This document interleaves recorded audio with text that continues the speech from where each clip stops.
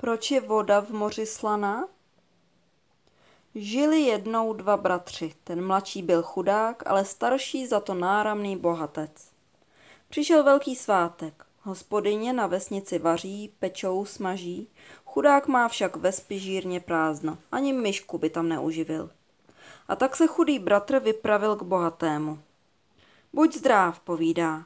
Buď zdrav, boháč na to ale tvář se mu skřivila, jako kdyby došťovíku kousl. Dovtípil se zřejmě, proč k němu chudý bratr zašel a ten se opravdu zeptal. Nedaroval bys mi něco, abych mohl oslavit svátek? Proč ne? Dám, povídá boháč, ale musíš slíbit, že splníš mé přání.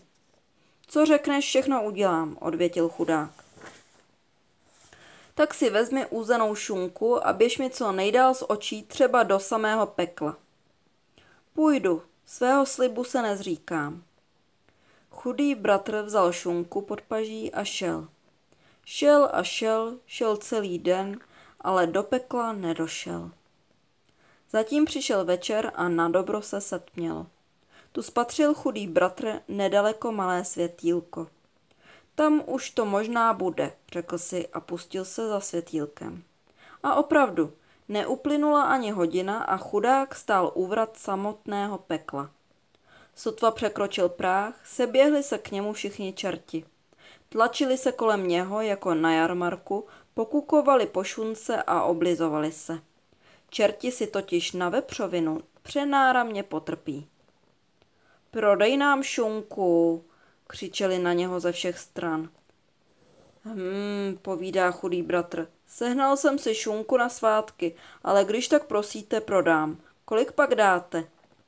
Tu jeden z nich, ten nejmladší, olisalý čertík, jej popotáhl za rukáv a zašeptal mu do ucha.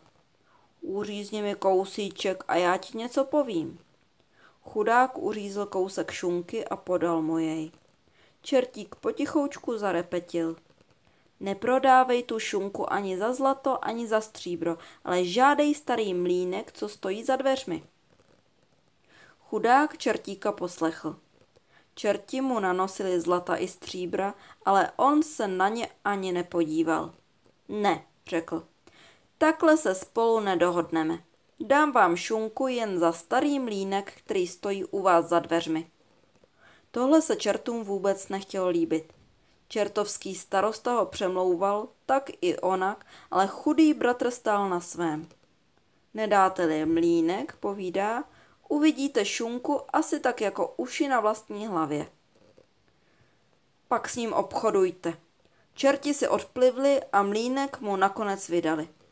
Prodali jim tedy šunku, ale nejdřív si potají uřízl nejtučnější kousíček a ukázal ho pod kabátem olisalému čertíku. Pak popřál všem čertům dobré chuti a vykročil z pekla ven. Ušel jenom kousek, když ho ten plešatec dohnal. Chudý bratr ho chytil za ucho a řekl. Nenapálil si mě, děsíku. Místo stříbra a zlata si mi podstrčil nějaký rezavý krám. Co tě nemá, zapištěl čertík. Vždyť to je ta nejkouzelnější věc na světě. Stačí jen třikrát zaťukat mlínku na víko a začne se sám točit. Co přikážeš, to ti mlínek namele. Stačí jenom sbírat. Potom zaťukej třikrát na dno a bude konec. No, díky tobě, jestli nelžeš, řekl chudý bratr. Tady máš odměnu. Čertík sebral kousek šunky a chudák pospíchal domů. Třeba, že utíkal, jako by mu za patami hořelo, dorazil teprve o půlnoci. Kde se spotloukal? spustila na něho žena. V jiných staveních se stoly pod jídly jen prohýbají a u nás nevoní ani sváteční polévka. Nezlob se, ženo, měl jsem jednu důležitou věc a musel jsem kvůli ní jít na dalekou cestu, proto jsem se opozdil. Ale podívej, co jsem za to přinesl. Tu vytáhl chudý bratr spod šosu svůj mlínek a začal jej otírat a čistit. Vyleštil jej, že se leskl jako sklo a povídá ženě. A teď poroučej, co třeba potřebuješ k svátkům. Jaké pak poroučení, odvětila žena. Stlačil by nám třeba pecen chleba a kousek masa. Slyšíš, mlínku, co ti povídají? zvolal chudý bratr a zaťukal třikrát na víko. Mlínek zaskřípal a začal se točit jako o závod. Bochník za bochníkem padal na stůl a potom se vyvalil obrovský kus masa. Do červena upečeného, osoleného, opepřeného, jen zakousnout a pochvalovat. Muž se ženou se posadili za stůl a slavili svátek. Druhého dne namleli zase spoustu dobrých jídel a pozvali na hostinu všechny příbuzné a sousedy. Hosté jedli, pili a nešetřili chválou na hospodáře. Jenom bohatému bratru rostlo sousto v ústech ze samé závisti. A kde jsi to všechno sehnal? ptal se chudáka. Ale nikde. Mám jen za dveřmi dobrou spíš, bratr na to. K večeru se ale už chudému bratru od sladkého jídla a silného pití zamotala hlava a dostal chuť pochlubit se před lidmi. No tak se podívejte, řekl, kdo vás napájí a krmí. Přinesl mlínek, postavil jej na stůl a rozkázal mu, aby namlel perníku. Teď už pozbyl bohatý bratr klidu na dobro. Obcházel kolem bratra ze všech stran a loudil a loudil, aby mu mlínek prodal. Ale chuďas nechtěl ani slyšet. Tu se boháč rozlobil a řekl, to nemůže být jinak, než že si ten kousek ze samého pekla přinesl.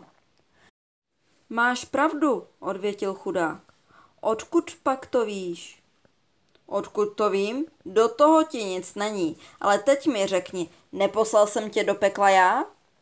No ano, a co z toho?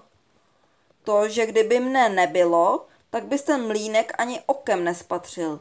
Je tedy stejně můj, řekl bratr, chytil mlínek a utíkal domů. Druhého dne vstal brzy ráno a povídá ženě. Z čeledíny obracet seno. Dnes se o oběd postarám já. V poledne postavil mlínek na stůl a rozkázal mu. Chci slanečky a mléčnou polévku. Mlínek se roztočil jako zběsilý. Boháč jenom podstavoval vědra. Všechny kastroly, hrnce i džbery už byly plné, ale mlínek se točil a točil dál. Boháč jim třásl, nohama do něho kopal, křičel, klel, hromoval a přece by stačilo jen třikrát zaťukat na dno. A mlínek mlel a mlel.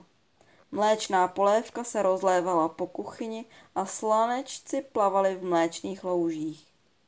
Už to nebyla louže, ale jezero, které stoupalo po kolena, po pás, po hrdlo. Ještě chvilku a utonu. Bohatý bratr se dal do křiku. Pomoc, topím se! Vyběhl z chalupy ven, ale mléčné moře se vyvalilo za ním. Rozlilo se po celé vesnici. Slanečci jen jen nadskakovali na bílých vlnách. Bohatý bratr přiběhl k chudému. Skroč tu čertovskou věc, prosil ho. Podívej se, co dělá. Zatopí celou dědinu. Ale chudák řekl. S cizím majetkem nechci nic mít. Kdybys mi jej dal, bylo by to něco jiného. Vem si ho tedy, prosím tě, jenom ať přestane mlít. To už stojí za námahu, řekl chudák. Vytáhl spoza pecenecky, spustil je oknem, vzal sebou udici a plavil se v neckách k bratrově chalupě. Chalupa stála už po samou střechu v mléčné polévce. Chudák se zachytil bydlem za korouhvičku, vhodil komínem dovnitř údici a vylovil mlínek. Pak zaťukal třikrát na dno a mlínek se přestal točit, jako když utne. Celé mléčné moře steklo pozvolna do moře Oprodovského. Jenom slánečci uvázli v trávě a v křovinách dětem pro radost. Celý den lovili ryby na suchu. Od těch dob žil mladší bratr dobře a spokojeně. Brzy na to si vystavěl novou chalupu. Mnohem větší a krásnější, než měl starší bratr. Chalupa stála na pahrbku nad mořem a od sklepa až ke korouhvičce na střeše byla obložena hladkými střípky a pestrobarevnými skly. Jak ta se třpitila za slunečního dne i za měsíčné noci. Rybářům to přišlo náramně vhod. Chalupa jim sloužila za maják. Po celé zemi a dokonce i v cizích krajích se šířila slavná zvěst o mladším bratrovi a jeho kouzelném mlínku. Uslyšel ty zprávy jeden kupec se solí a zatoužil spatřit kouzelný mlínek. Vystrojil koráb a plavil se k mladšímu bratrovi. Mladší bratr ho uvítal jako hosta. Zaťukal mlínku třikrát na víko, nařídil mu, aby namlel všelijakých dobrých jídel a pohostil kupce, že líp ani nebylo možno. Host jedl a pil a přitom se pořád jen ohlížel po mlínku. Je to pravda, že tvůj mlínek může namlít, co jen si kdo přeje? zeptal se mladšího bratra. Pravda, odvětil bratr. Může namlít sůl? I sůl. Tu zasvítili hostovi oči. Vždyť on se musel pro sůl plavit přes moře do cizích zemí. Kupec začal mladšího bratra prosit, aby mu mlínek prodal. Nabízel mu celou torbu zlata, ale mladší bratr ani na to nechtěl přistoupit. V noci, když všichni v domě usnuli, kupec potichoučku vstal, sebral mlínek a vzal do zaječích. Pospíchal tak, že i torbu se zlatem tam zapomněl. Doběhl na svůj koráb a dal i hned zdvihnout plachty. Jakmile koráb vyplul na širé moře, kupec postavil před sebe mlínek, zaťukal třikrát na výko a řekl Mel sůl. Mlínek začal mlít. Naplnil celý trup lodi, zasypal celou palubu. Ze začátku si kupec radosti zpíval, potom zmlkl a nakonec začal plakat. Viděl, že koráb se pod takovou tíhou každou chvíli potopí, ale mlínek mlel a mlel. Jak ho zastavit, to obchodník nevěděl. Koráb se ponořil až po boky a hroužil se do vody hloub a hloub. Vlny ho zavalily a on se potopil až na dno. A mlínek mlel sůl dál i na dně a točí se tam dodnes. Proto je voda v moři slaná. Pokud se vám čtení líbilo a stojíte o další, nezapomeňte kliknout na like, tlačítko odebírat dole pod videem a pokud chcete být informováni o každém novém příspěvku, zmáčkněte také na zvoneček.